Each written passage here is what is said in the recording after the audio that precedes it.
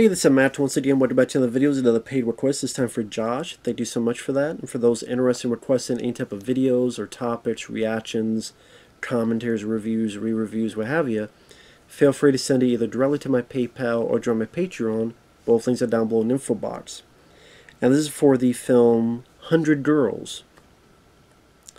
Which I thought this sounded familiar, and it's because it's the same director who did Shoot 'em Up. This is one of the early films he did. Just and after this, he did Monster Man.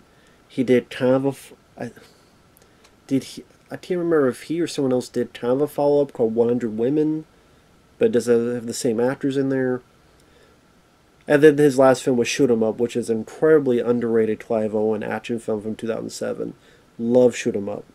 To me, one of the more underrated action films in the past 20 years. I really do feel that way. But this one stars Jonathan Tucker, who I remember from the 2003 Texas Chainsaw Massacre film. He was a guy with almost like perm hair, a bit more of a mustache, and uh, glasses. He plays a guy that one night in the elevator, the power goes out. He was a bit drunk there's a lady there. They have sex. He loved it, of course. But all that was left was a pair of panties. So he's got to go find out who this girl is. So he goes to this female dorm and pretends to be the maintenance guy, the janitor, what have you, in order to find the matching bra and almost this weird take on Cinderella to find out who this mysterious lady was. And throughout it, it tries to be sort of like a pseudo intellectual version of American Pie. Well, I have some really goofy humor. For example, what he's talking about his experience in the elevator, and it's all done in silhouettes. And he's talking about how his manhood rolls up like Jiffy Pop and we see in silhouette that his crotch is bubbling up just jiffy popcorns coming out of his crotch. Or he'll say a line like my dick is like a dog without a leash. And then you see it in his crotch moving woof woof woof moving around like this. So it does like goofy stuff like that. Um, he has a buddy James DeBello you may remember you remember Eli Roth's Cabin Fever, the guy who was the big douchebag uh, who got bit by the pancake. I the pancakes. You know the He's the guy to get bit by the, the pancake kid. He's in this, playing pretty much, almost the same type of character. He was also in Detroit Rock City. He's a guy who, because he saw an ad, he puts these weights on his dick to supposedly supposed to make his dick bigger. And you find out later that he has an issue with women because of a physical problem on his crotch.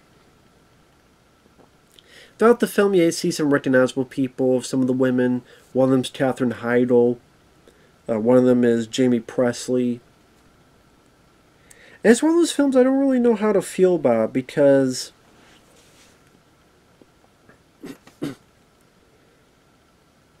the music is playing loudly like an American Pie movie with these various songs. It's trying to be rather goofy and silly with some of the scenes I mentioned. But at the same time, it seems like he's trying to have something to say about the sexes and him understanding women more, understanding how, as he puts it, we all are afraid of women. Like, speak for yourself, buddy. But at the same time, he goes to this seminar that's an obvious feminist leading the charge, and he stands up and goes, No, you know, each side thinks they're playing fair, and each side thinks they're both being cheated. And there's too many ifs in the world. The only is there should be is humanist. Humanist. Or humanistic. But there's too many other ists in the world. so he's trying to play both sides. He's trying to be, yeah, guys are full of shit, but women are full of shit too. So I can kind of appreciate what he's trying to do. Whether that's entirely successful, I still not sure about it because there are moments I thought Jonathan Tucker's character just seemed like a dick. Like he's trying to search all these women. So, for example, Katherine Heigl, he gets her, she gets him into a game of strip foosball, and he keeps losing. He's got to take his clothes off. There's another lady, Jaime Pressly, that anytime he talks, it's like he's speaking a different language. But then it gets to a point where he dresses up like a girl to out with women. And when he dresses like a girl, he's talking to Jaime Pressly. He's able to talk with function. And a lot of times I could be a really tired dad when someone has to dress like a girl, but nobody else notices that he's dressed like a girl. Like Mrs. Doubtfire, Robin Williams' enthusiasm worked in that movie, but very rarely does that kind of stuff work. I mean, it's not as bad as Madea movie. No. I probably put this above Big Momma's house. And thankfully, it's not the whole film of him doing it, just a little bit. But it's just like, it gets a bit. There are exceptions to rule, of course, but I'm just saying that could be a tired dad. But at the same time, there are some bits that it made me chuckle. There's a bit where he is not too much of a dick, and he saves his girl from her asshole boyfriend. And uh, the way he makes fun of the guy about you're a guy that used to have a Letterman jacket, but now you have a fake Eurotrash ponytail, and uh, you're wearing makeup, and then we hear his monologue that he's making fun of this guy, his incessant chomping of this gum, and slow mo, his hands rise up and gets the bully's nipples in a titty twister, and the guy's like, oh and then the guy retaliates, so they're both in a titty twister war, but it's done in slow motion and choir. It's done like a big event action movie, where the but it's all it's a titty twister war, and the guys in slow mo roaring, but the war almost sounds like a demon. Like that, I will say, as silly and goofy as it is, that did make me laugh. That did make me chuckle.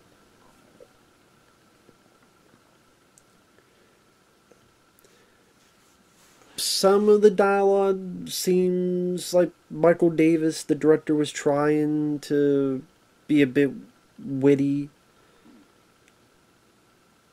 Like talking about how how the hell did they describe it? Like the penis is a chicken shit because it shrinks back in fear and how, you know, women's breasts are so beautiful but guys' dicks are so ugly because Again, the cowers, they shrink back in fear, or they shrink when it's cold. And how the hell did he put it? Like the. It's the cowardly flap of the elbow flesh. Which I. I don't have any flesh on my damn elbow, so that's why I can't even understand what the fuck he thought. Like, I don't have any additional flesh on my elbow.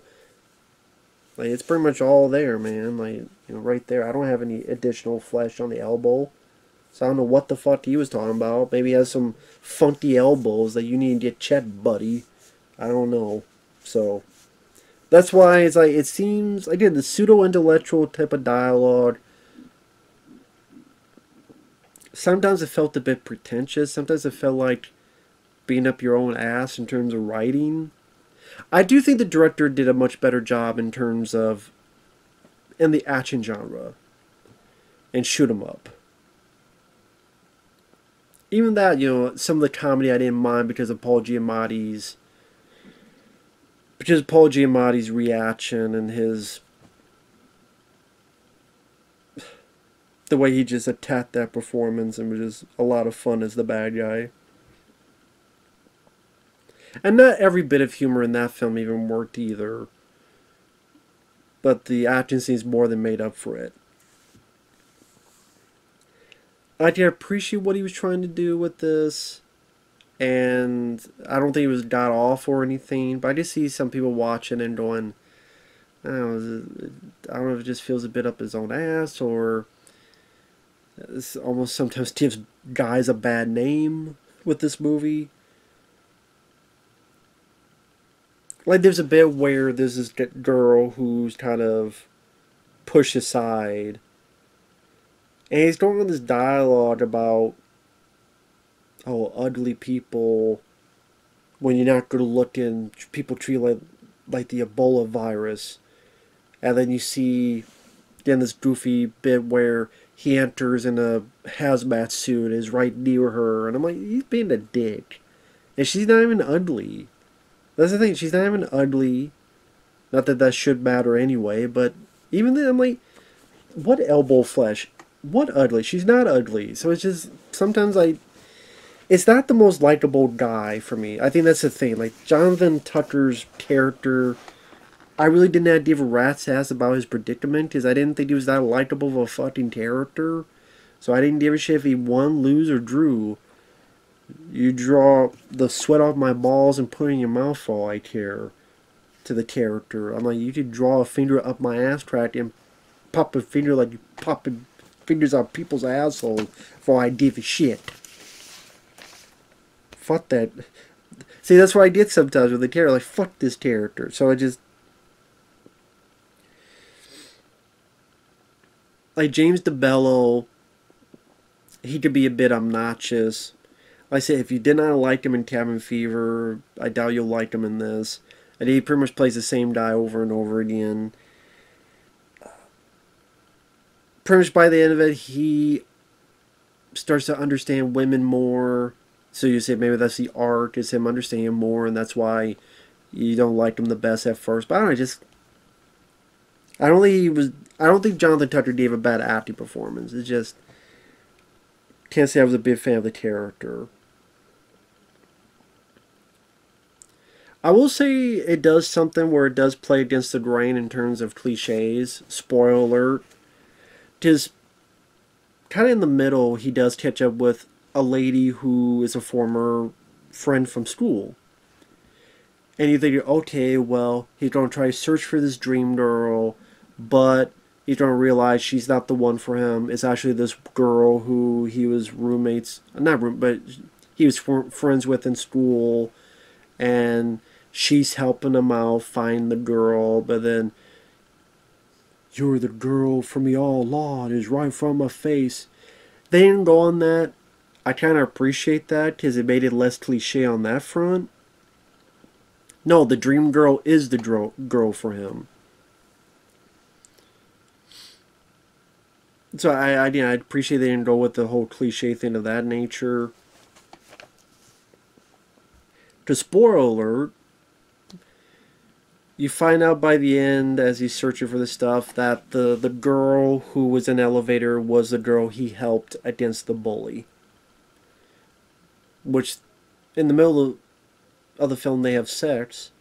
But I guess she's looked at as a slut and kind of made me go, well, you didn't think of her earlier? See, that that would have been the first to, to look into. Uh, James DeBello, you find out that he is seeming misogynistic because he had a bad experience where I guess there's like a some hole under his dick, something like that. I guess he meets up with the ugly girl who's not ugly at all, and they get together. Jaime Pressly, she gets in the kickboxing. Katherine Heigl, she gets with the Jonathan Tucker's lady friend who is a old schoolmate. He declares his love, goes to see her. She says it won't work out. He tries again after did the the bully out of there. Because at one point he was in women's clothes. The guy tried to kiss him. He bit the guy's tongue out. Has the evidence. Other people rise up, hey, this guy's a creep. And so he gets carted off. He gets with the girl, the movie's over. There you go.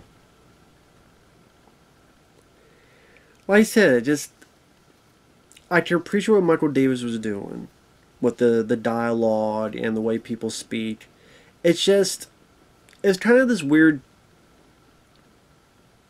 juxtaposition of trying to have this witty dialogue, trying to be trying to be smarter than above, but then having silly shit like jiffy popcorn coming out of your crotch, or your dick moving like a dog, or a titty twister fight. It just felt like two things kind of fighting with each other, where this stuff will work like a lower, lesser American Pie film, but then you have this other stuff that's trying to be a bit like clerks in terms of, in terms of dialogue. And it, it's not that I hated the film. It's just I don't think it was as perfect of a blend as maybe the director thought it was.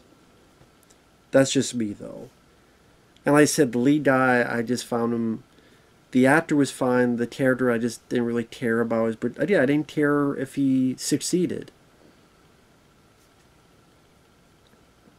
So, I wasn't a huge fan of the film. I'll say that. But that's just me. So with that said, thanks for watching. Take care. We'll see you guys later. Bye bye.